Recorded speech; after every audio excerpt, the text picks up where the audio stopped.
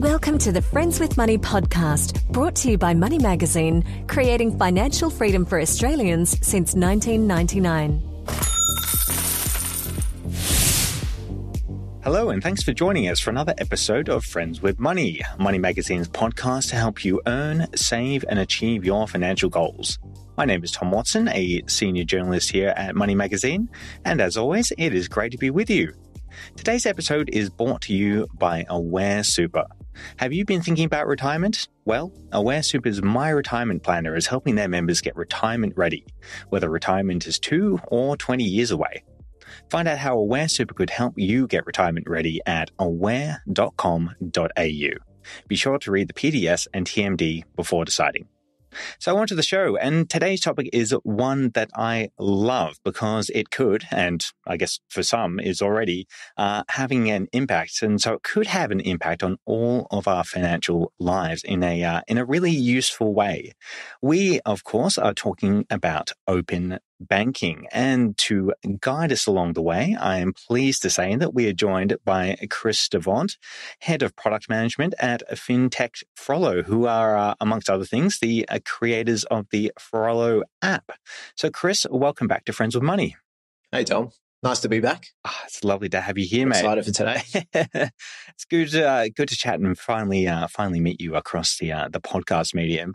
Uh, Kris, I guess to start us off, can you explain to us what exactly open banking is? Yeah, sure, Tom.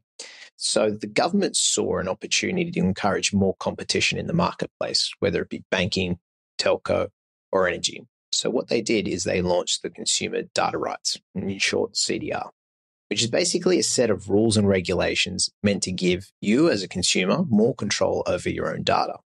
And it means that when you share it, it is protected from a regulated party.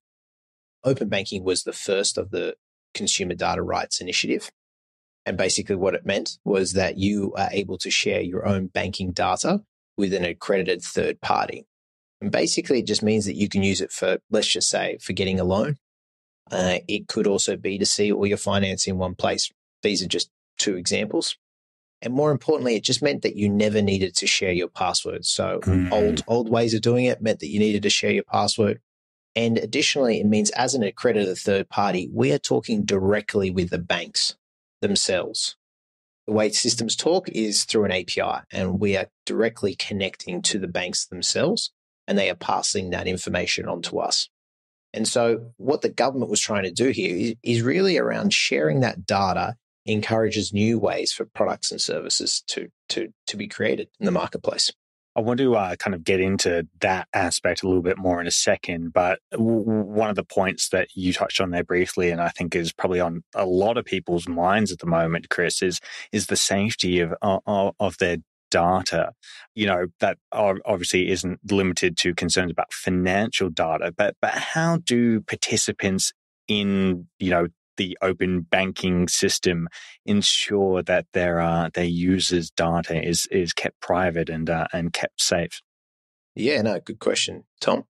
First of all, you need to be an accredited body by the ACCC. And so, what the ACCC does is, it, it as I mentioned before, it's a regulated regime. Mm and they set out a number of different rules uh, that we need to to obey, and they are really strict on privacy and security. And so these rules they help govern how we control, transfer, store, and use the data. And so, uh, more importantly, if we breach those, uh, you know, you could we could face civil penalties, which is basically jail time. So it, it's an extremely serious area of of our platform, and we take it very, very seriously. And the ACCC looks to enforce these with strong regulations and standards that evolve. So as we know, you know, you can't just do it once. You have to continually evolve and, and, and these standards change. And as an accredited party, we need to change with those standards. So, Kris, I, I guess getting to what I guess a lot of people are listening to the, today's episode for is, is, to talk about how open banking can potentially save them money. So, are you able to give us a couple of, of examples, perhaps, of how it could potentially work? Yeah, yeah. I think probably the easiest one that most listeners will, will understand is, is a comparison site. So uh, I think we've probably all been there to try and kind of get a better deal or a better gauge of what's going on in the market. But how often do you go to that site? You don't even know your interest rate. Mm-hmm. You don't even know when your introduction bonus fixed rate expired, for instance. You know, the banks get you in for those th- three months and then f- you forget about it, right? And so, or you don't even know how you're using your product, like your credit card. Maybe you are, you know, really good at paying it off. Maybe interest is rolling over. And so, you know, imagine you were to go to one of these sites, these comparison sites like CanStar, for instance. Uh, you would be able to connect your bank account in a secure and regulated way, you know, with a technology that would be able to look at your transactions, your account type, the actual product that you're on, and kind of indicate to you, you know, maybe it would be better for you to go to a different type of product. Um, and a simple example would be a savings account. You know, very often, you know, there's a bunch of rules that you need to to buy every month. You know, maybe it's do five transactions, or you can't once you deposit, you can't take money out. And so when you share that data with a third party, the third party can actually look at the way that you're using that account and can kind of offer you a advice to maybe switch to another account because you would end up getting a higher interest rate that's where it starts to open up the marketplace because no longer that information within your banking apps is only with the bank itself. You know, other third parties who are accredited can provide services around that data that can help you save. So it sounds like, um, you know, it's doing a lot of legwork for people that, you know, they would have had to do themselves previously and also given the kind of personalized insights that just weren't available potentially before. Correct. And that's 100% right, Tom. That's a really great example of uh, of what open banking is doing, I guess, to save people money now potentially, if uh, if people are, uh, are willing and interested in uh, in sharing their their data. And in a moment, I want to uh, to delve into how Frollo is playing their uh, their part in all of this, Kris. But first, today's episode is brought to you by Aware Super. Have you been thinking about retirement? Aware Super's My Retirement Planner is helping their members get retirement ready, whether retirement is two or 20 years away. It can help answer questions like How much super do you need for retirement? Are you on track to meet your retirement goals? And what changes could you make now to help you grow your savings? Aware Super's My Retirement Planner also provides a personalized step by step action plan, all available as part of the membership at no additional cost. It's a great first step in getting retirement ready. So find out how Aware Super could help you get retirement ready at aware.com.au. Be sure to read the PDS and TMD before deciding. So, Kris, as I said, you've given us some, well, a great example already, but I'm curious to hear how Frollo itself, the Frollo app itself, can uh, can help people as well. Yeah, yeah, sure, sure, Tom. So, I guess I, I want to start. No app, including our own, is is no magic bullet. And I like to compare this, you know, when I speak to a friend, I compare it to kind of losing weight industry, right? So if you think about it, everyone knows how to lose weight, right? You eat a little less, you drink a little less, you do a little bit more exercise, right? And if you think about it, most people actually know how to save money, right? So in the sense that, you know, you spend a little less, you save a little more. And so, but I think what, what is confusing for, for some and is, you know, just seeing where your money's going. Mm. You know, did you know that, you know, average Australian has two and a half banking relationships. So they have their accounts spread over different financial institutions, which makes it really hard just to see where your money's going. So at Frollo, what we try and do is we try and bring that all into one place so that you're not lost anymore. You can see kind of where everything's going. We've got some visuals. You're able to break it down into, you know, different, you know, monthly pay, annual pay, and, and we categorize and we enrich those transactions so that you get a real clear sense of where your money's going. And the aim of that is really about giving you control. And then we provide you just different tools you know, that you can turn on and, and use as you like. So for instance, we have where a tool that you can see your future payments. So it's a bill tracker, right? Where are those subscriptions going? Uh, what's coming up? You know, is there an annual bill that's coming that you just didn't realize that you had to pay for? We have tools where you can track your own goals and set a plan on your spend. So, which is AKA a budget. And then we also provide you kind of bite sized insights along your journey to help you just guide you along the way and make sure that you can just stay on track on top of your money.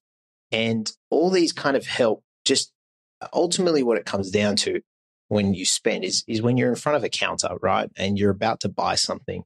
What you want to do is say to yourself, can I really afford this? Should I really spend this money?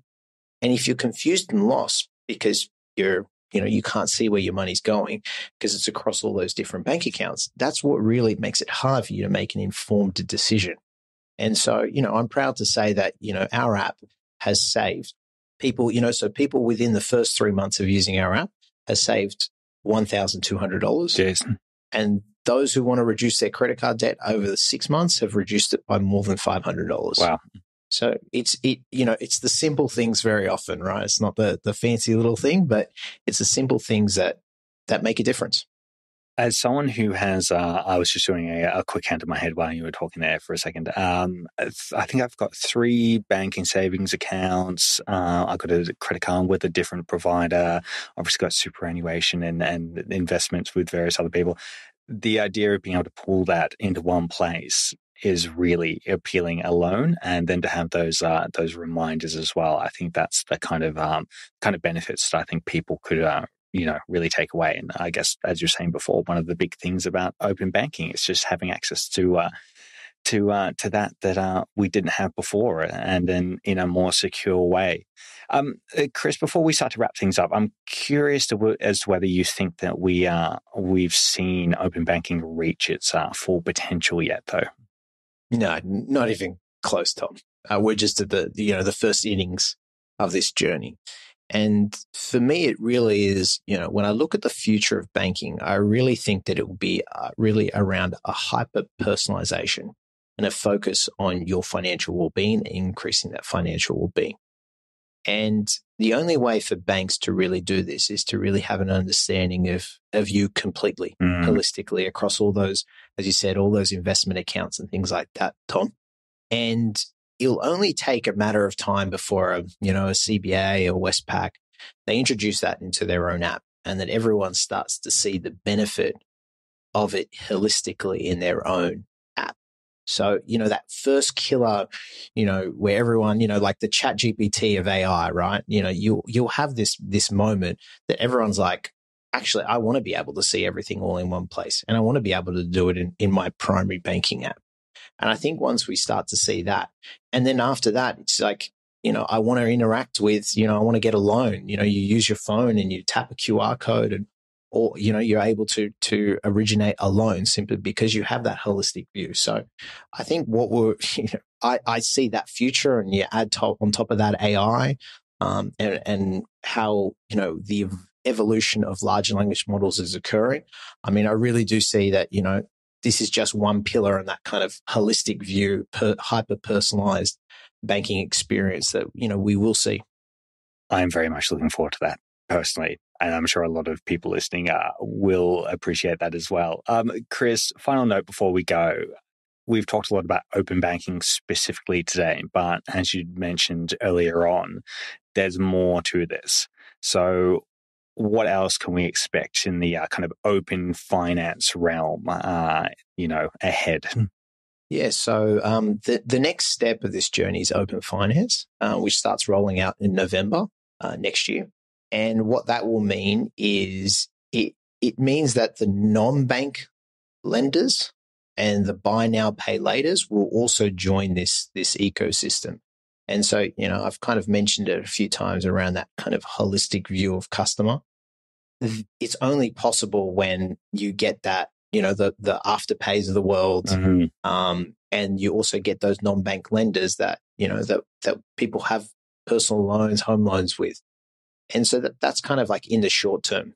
But I think the most exciting thing for me, which is, you know, maybe two years away, is around action initiation.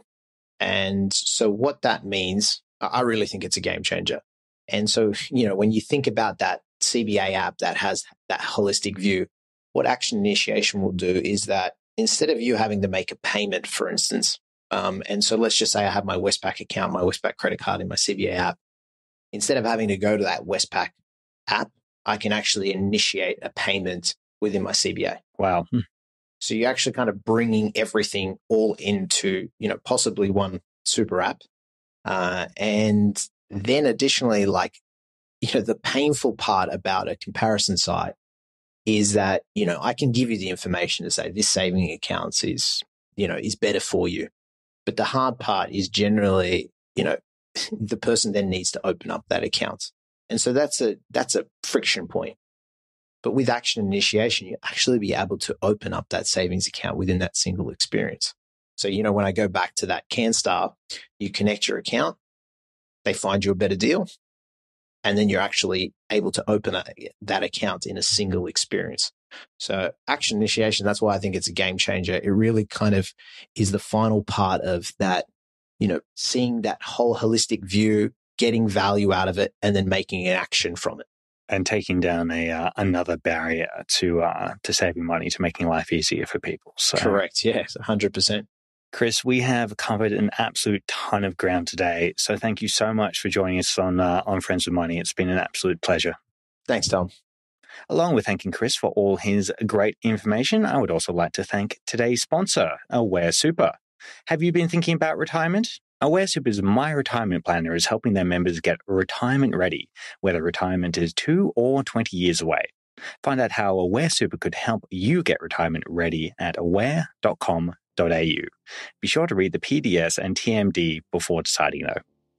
And before we go, dear listener, do not forget that you can get in contact with us with any queries or episode ideas using our dedicated email, which is podcast at moneymag.com.au.